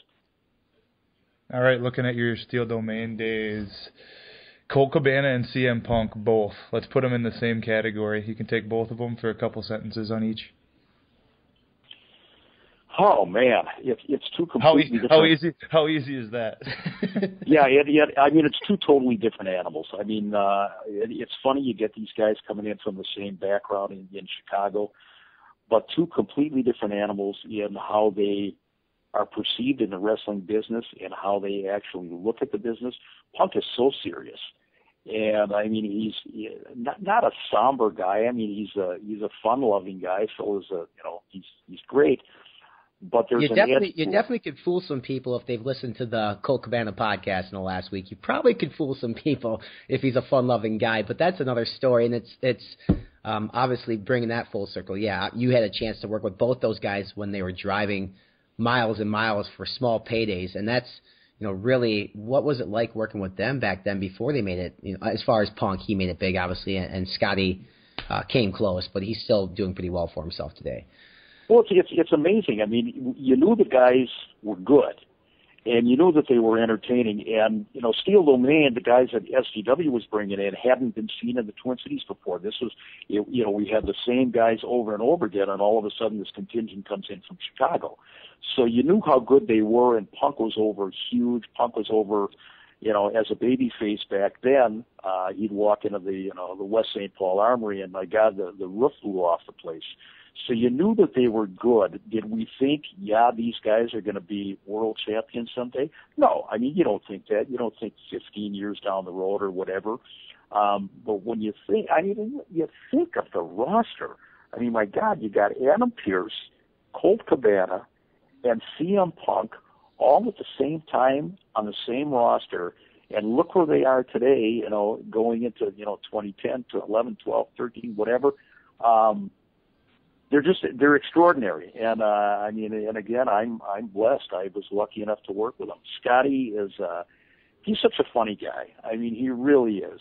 There's so much about him. You can see it when he's in the ring um like he's doing the mad classic or whatever he's doing that he's just loving his time out there. Mm-hmm. and punk on the other hand you know there's a dark side to him. And uh so that's why i say two different animals but just they're great great talents. Yeah, and that was as far as me when I broke in. Punk was already gone from Steel Domain. He was into his Ring of Honor days. Uh, Scotty was doing his thing. I worked plenty of shows with Scott, but those were the names that I always heard. You know, guys like me, Aria, Craven, the, the names in Minnesota that were younger talent that people thought, you know, these these are the kids that might be the next ones out of this territory. We kept hearing about the Austin Aries, the Ken Andersons, the the CM Punks, and it drove me to want to be better because not that I was tired about hearing about these guys, but I wanted to kind of create our own legacy, and they uh, they were fantastic, and they really drove me to try to be the best that I could be. So I appreciate everything they did on the indie scene great seeing those guys accomplish things on the big stage. Uh, whether you know Colt obviously accomplishing things, whether it be social media, but he still makes a living doing this. Adam obviously makes a living doing this, and Punk uh, made more than a living doing this. So really cool that they uh, you know spent time in, in Steel Domain and you had a chance to work with them. And the last name I have here for you, and unfortunately we talked about people passing away in pro wrestling, and just recently, as of the last couple days, you and I both uh, were made aware of the passing of AWA ring ring legend uh, Roger Kent. What I guess I know you you mentioned some things on social media about Roger, and is there anything that you'd want to say about him as an individual uh, and you know the unfortunate circumstances that just happened? Yeah, I mean, uh, Roger. It, it's really interesting. Uh, Roger was the voice of the AWA, and I'm not. I I don't mean this to sound disparaging. Roger was not a terrific wrestling announcer, you know, in the truest sense of the word. He wouldn't, you know, call a series of holds or whatever it was, but he he had phrases that were directly. You hear that phrase back in the day, and it's a Roger Kentism. Uh, you know, he poleaxed him. He's big enough to go bear hunting with a switch, whatever.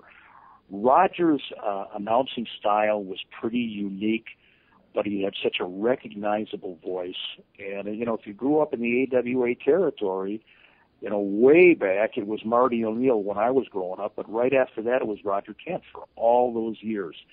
And um, you know, from a personal standpoint, I mean, you know, I, I mentioned on social media, you know, back in the day, um, you know, I had a little little incident with Roger that you know he heard I was I wanted to become a wrestling announcer. He didn't like it. I think he felt threatened at the time, not just by me, but you know, Roger was you know getting on in years. He wasn't real happy working with Verne, and he he basically told me, "I don't want you screwing with my income. It'll be a big mistake if you do." Well, by the time I got in, Roger was already you know off to WWF, and uh, years later, when I had him on a guest, as a guest on my show, he was terrific. Of course, he went on and still put the bad mouth on Verne, you know uh, probably you know 15 years after he had left Verne. But um, in the annals of wrestling, I mean, you know, certain territories had their guys. You know, it was Paul Boesch in Texas, it was you know Lance Russell in Memphis, and it was Roger Kent in the AWA, and uh, definitely a legend. And uh, he'll be he'll be missed. You know, it's one guy after another. I you know I I can't impress upon you guys enough especially these old school guys like me. You know, we go to Cauliflower Alley Club in Vegas every year, and one after another, year after year after year, we're losing somebody. Um, you know, and it's uh, it's pretty sad. You know, the old timers are dying off, and you know, there's a new breed coming in, and it's just part of life. And uh, but yeah, Roger was uh, he was a real character and and definitely a broadcasting icon in Minnesota. Yeah, absolutely. Sad, sad news. Obviously, and it kind of came as a shock to, to I know to you and to me when I read it through Mean Gene. Actually, that's how I found out about it. But uh, unfortunate circumstances. I know he was a legend in his own right. Um, you know, kind of moving on from that here, we have, you know, your people listening to this podcast might think, you know, what what's Mick do now these days? Well, Mick Mick is the pencil for Steel Domain Wrestling. So they have they have a big show coming up on Saturday, December 13th at 7 p.m. at the American Legion in Richfield, Minnesota. The card's going to be great. I mean, it's it's championship wrestling from the Twin Cities, brought to you by obviously Steel Domain Wrestling, CW Twin Cities. Uh, you know, we got Hotshot Danny Duggan from Canada. We obviously got Ari Daivari, Craven Knight, Ricky Love, who's a, a hot upstart out of Iowa. Uh, do you want to kind of give us a little plug for that show? And is that the show where Danny's doing a camp for people who've never been in the wrestling ring as well? Yeah, yeah, and and actually, I want to go back to that pencil thing. I want to remind you of something. I may be the Steel Domain pencil, but as you know very well, Renny, um, Ed Hellier is the eraser.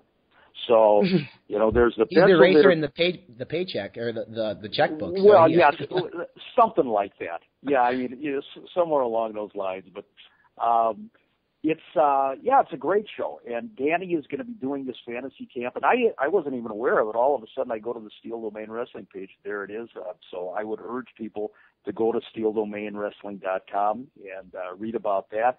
Uh, Danny is another great guy it's again, it's kind of a turnover in talent because now we got guys coming in from Canada and Iowa working with Steel Domain.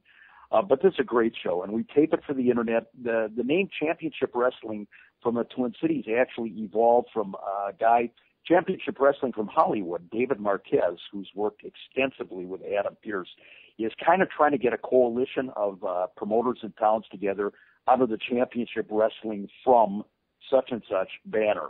And uh, so we're doing that. We're taping it for the internet, and it's a holiday show for kids.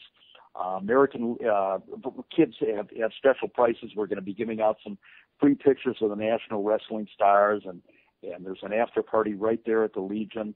And you would have been on that show, my friend, yeah, had I you know. decided, you know, not to uh, exit stage left. You would certainly have been on that show.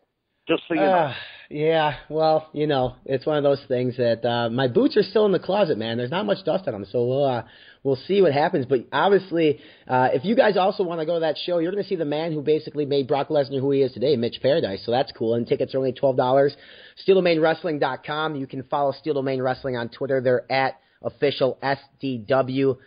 Mick, man, we covered a lot of ground tonight. We went longer than we wanted to, but you know, I'm not cutting you off. You're a brilliant mind in pro wrestling. You're, you're, Thank you. you know, walk down, uh, you know, the wrestling history, and I'm a big advocate for wrestling history. We had Carmine on here, and, and with you on here, I really think our listening audience is going to really appreciate some of the stuff that you guys have, and um, you know, I, I hope we can do this again because I'd love to get you back on and maybe talk, you know, some more new age wrestling because I know you're frustrated with some of the stuff uh, on TV nowadays, and, and we can save that for another time down the road. Maybe maybe things will take a turn for the better. Maybe you'll uh, put a smile on your face when you watch Monday Night Raw every Monday. No, no, that won't happen. but no, I, I appreciate the opportunity, guys, and and I know, yeah, it is a trip down memory lane when the when we're talking the AWA and all that stuff. But uh, it's a pleasure, and I got to say for you, uh, Brian, uh, and again, not just because you're you're co-hosting this show, you were a hell of a talent, and I told you that way back when. And uh, you know, I know you got a shoot job and a shoot career right now, and uh, but you you had it going, man, and uh, the sky would have been the limit for you, and you certainly have a home in Steel Domain if you ever decide to dust off those boots. Uh, we'll be more than happy to have you on board. Mick, Mick, don't steal them away from me, man. I uh, I definitely appreciate that. Now, you know, I'm 27 years old, so uh, the time away from the ring has been nice, but eh, you never know, right? Never say never is the uh, infamous wrestling, uh, I guess, line that people like to use. That's right. You got it. And as far as you know, I'm not going to get into a bidding war with you. Uh, I mean, as far as you know, for for Ryan's services, don't worry about it. If you want it, you got it. You're sitting on Yeah, stacks of cash, yeah. man. You're sitting on stacks of cash. All I can buy. Looks is like I'm gonna get one of those. I'm gonna get one of those AWA paydays if I come back. So uh, Yeah, okay. you- Yeah, or Steel Domain. It's all the same. Yeah, whatever. You know. I mean, and as far as Mick, if you guys want to look up Mick online, he's uh, you know he's got an official fan page. It's Slick Mick Wrestling fan page. You look it up on Facebook. He's on there, and he kind of keeps you guys up to date with things as well. So Mick, thanks a lot, man. Take care. Uh, good luck with the show on the 13th with Steel Domain. I know you guys are gonna do fantastic. Thank you, guys, and I appreciate the opportunity. All right, man. You take care. All right, sounds good. All right, bye bye.